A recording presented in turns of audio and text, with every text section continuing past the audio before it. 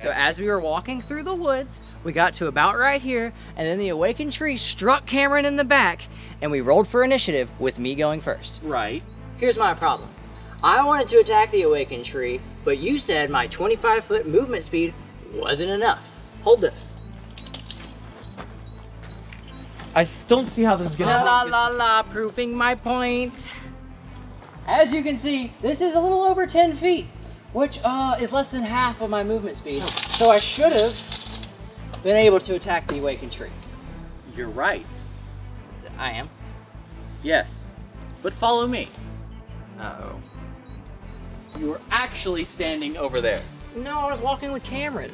You were. Until you decided that you'd stop and take a leak on the side of the road.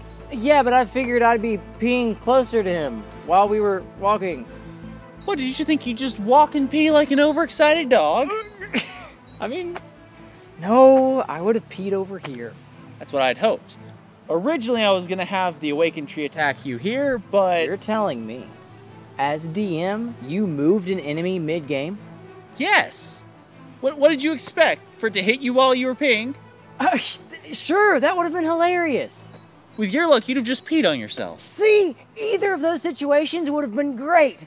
I would gladly pee myself.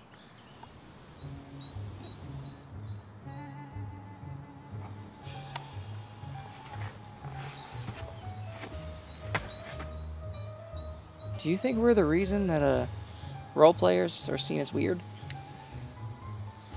It's all on you, man.